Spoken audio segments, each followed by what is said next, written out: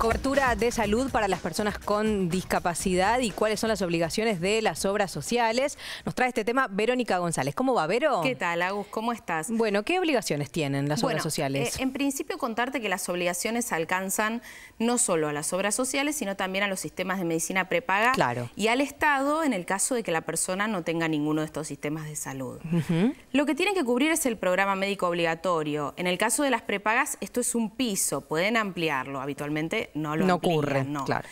¿Y, y qué es lo que tienen que cumplir? Bueno, eh, estudios para la detec- detección temprana y la prevención de patologías discapacitantes, eh, que eso se hace, bueno, a través de estudios en el embarazo y luego del nacimiento. Sí. Estimulación temprana, rehabilitación integral, formación laboral y profesional, actividades recreativas, terapéuticas y pedagógicas. Actividades recreativas, eso Sí. debe ser muy difícil que las prepagas acepten cubrir. Porque no lo reconocen como algo que implica que para la persona sea un crecimiento, ¿no? Claro, para claro. la persona con discapacidad. Claro. Concurrencia a centros de día, ortesis, prótesis, ayudas técnicas, esto también es muy difícil porque suelen ser cosas costosas. Mm. Claro. Audífonos, tratamientos odontológicos incluyendo eh, técnicas quirúrgicas. Mm.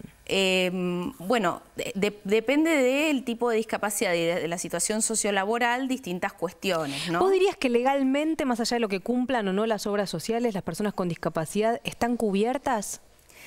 Eh, cuesta mucho, cuesta mucho que, que cubran. En realidad la ley es buena. Eso, eso pregunto. un montón de- La ley un es buena, pero no se cumple. La escolarización también en escuelas comunes, con apoyos o en escuelas especiales, o también escolarización domiciliaria Claro. también para los quienes no pueden moverse, asistencia personal, que esto es muy amplio, porque incluye si la persona necesita un asistente domiciliario para levantarse de la cama, por ejemplo, o para Mm, cuidar a sus hijos. Sí. Esto es muy difícil que lo reconozcan. Sí, en el caso del Estado sé que en algunas ocasiones sí se cumple, incluso con las personas mayores. Por ahí el PAMI les pone una ayuda como necesitan, pero no sé si ocurrirá, seguramente con las prepagas debe ser En lo el- más difícil. En el caso de las personas con discapacidad, en el Estado, el programa que cubre todas estas cosas es incluir salud.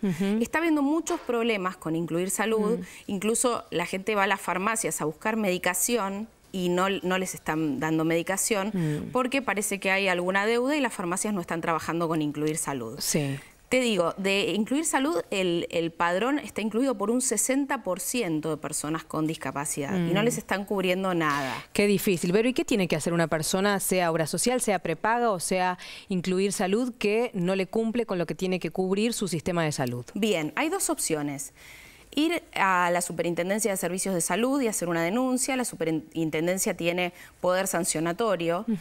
Y otra, otra cosa que es mucho más efectiva porque obliga al- a los sistemas de salud es presentar una acción de amparo con medida cautelar, porque evidentemente a la persona le urge contar con esta cobertura. Por supuesto, claro. Eh, las personas con discapacidad que no tengan recursos pueden recurrir al patrocinio gratuito de la, uni- de la Universidad de Buenos Aires y a los colegios de abogados de donde la persona resida, porque siempre hay patrocinio gratuito. Bien. Eh, eh, Agus, en este momento de despidos masivos es Sí. importante que la gente sepa que la cobertura de las obras sociales para todas las personas Sí. se extiende por 90 días después de rescindido el contrato. Ok, con lo cual por Ahora, tres meses tiene que estar cubierto. Claro, sí. en el caso de las personas con discapacidad, la Superintendencia de Servicios de Salud puede extender este plazo, Mm. porque se entiende que la persona, le- a la persona le urge la cobertura claro. de determinados ser- eh, servicios como, no sé, medicación, que puede ser que la persona la tome de por vida. De manera ¿no? crónica. Ahí estamos viendo